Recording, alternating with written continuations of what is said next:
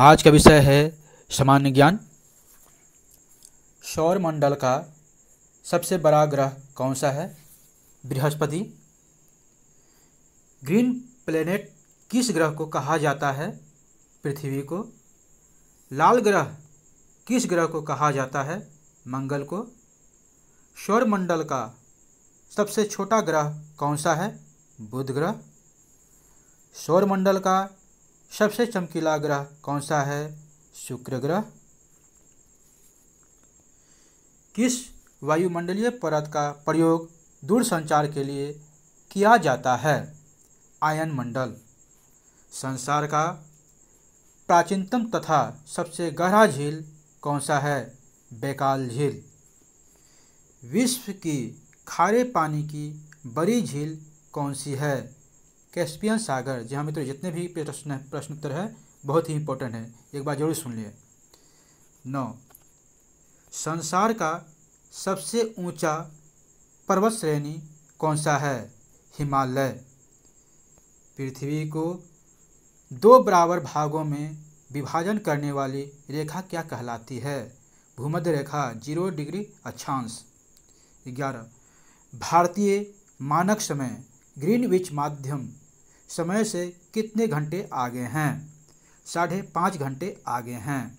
बारह। भारत का सुदुरुस्त उत्तरी बिंदु कौन सा है? इंदिरा कौल। लद्दाख। इससे पहले मैंने बताया था, दक्षिणी बिंदु। सुदुरुस्त दक्षिणी बिंदु इंदिरा पॉइंट कहा जाता है और उत्तरी बिंदु इंदिरा कौल कहा जाता है, जो लद्दाख में है।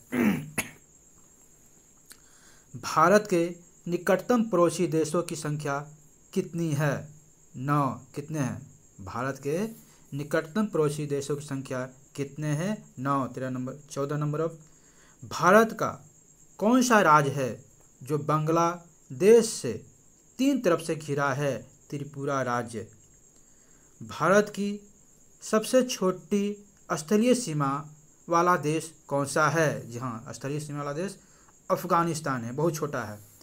जितने भी प्रश्न उत्तर इसमें हैं, बहुत ही इंपॉर्टेंट हैं। सही परीक्षा में किसी न किसी परीक्षा में ज़रूर आ चुके हैं। आगे देखते हैं। भारत का सर्वोच्च पर्वत शिखर कौन सा है? जी हाँ माउंट गार्डविन आस्टिन यानी माउंट केटू। सत्रह, भारत का सबसे ऊँचा दर्रा कौन सा है? यांगजी दीवान दर्रा। अठारह नंबर, ब्लू माउंटेन के नाम से किस पहाड़ी को जाना जाता है। नीलगिरी पहाड़ी को, जी हाँ ब्लू माउंटेन, नीलगिरी पहाड़ी के, पहाड़ी को जाना जाता है नाम से, ठीक है? दो बार माउंट एवरेस्ट पर चढ़ने वाली प्रथम भारतीय महिला कौन थी? जी जहाँ संतोष यादव। ऐसे नाम से तो लगता है पुरुष का है, लेकिन यह महिला थी जो दो बार भारतीय महिला थी जो दो बार माउंट एवरेस्ट पर चढ़ी थी। बीसवा नंबर। नर्मदा और ताप्ती नदियों के मध्य कौन सी श्रेणी स्थित है? सतपुरा की श्रेणी। इक्कीस नंबर। भारत का केहिनूर किस राज्य को कहा जाता है? जी हाँ आंध्र प्रदेश को। यहाँ तक बने के लिए थैंक यू शुक्रिया बहुत बहुत धन्यवाद।